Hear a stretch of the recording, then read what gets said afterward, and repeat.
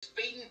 You know, it just ain't fair boss, and pounding your truck like that. Yeah, fair ain't got nothing to do with it. Now when it comes to boss, just how much money you can take in. It's like that road race he is.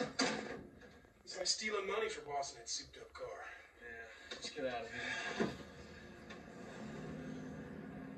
And I thought this was gonna be the year y'all broke a streak. Yeah, so did we. Now we got us a souped up engine, no car to put it in. But what with the drought and all, this has been the worst year we've had on that farm. I just, I ain't got the money. You don't have to apologize, Uncle Jesse. You always give us more than we deserve anyway. That's for sure. We'll win it some other year. Just stay right where you are. Don't move. What's that? But things wasn't that simple.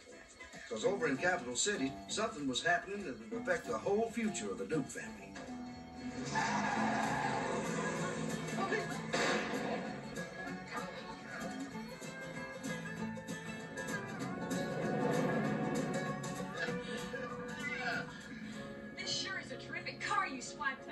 Made a clean getaway. I told you we'd make a great team, baby.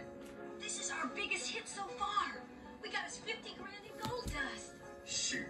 Bonnie and Clyde didn't start out this good. Now, let's pull over right up here and stash it like we planned. Friends, how are two losers whose heroes are Bonnie and Clyde, who just stole something that they can't spend, going to affect the Dukes?